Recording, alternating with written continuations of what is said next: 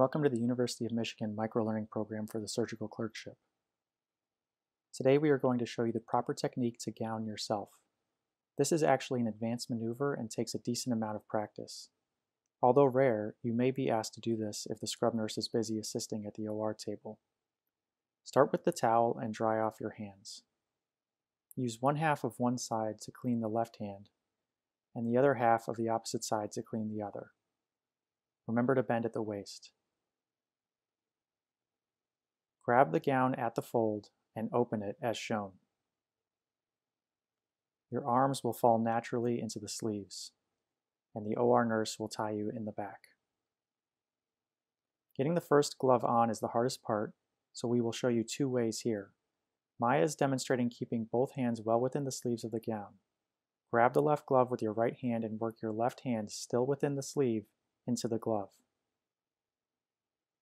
Once your fingers are in, you can pull the glove over the sleeve. This is the thumb to thumb technique. The glove is positioned with the fingers pointing towards the elbow and the thumb of the glove directly adjacent to your thumb. Grab the cuff with both hands within the sleeves. Use your right hand to wrap the glove over your left hand and adjust the sleeve.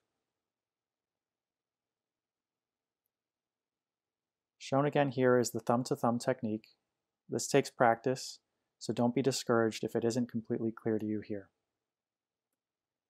For the second glove, you can draw the sleeve down slightly and place your gloved hand into the cuff to draw it over the right hand. Now adjust any bunched up sleeves. The outer gloves are much easier, as your hands are now free and you can glove whatever way is comfortable to you. Last step is the spin and you are all finished.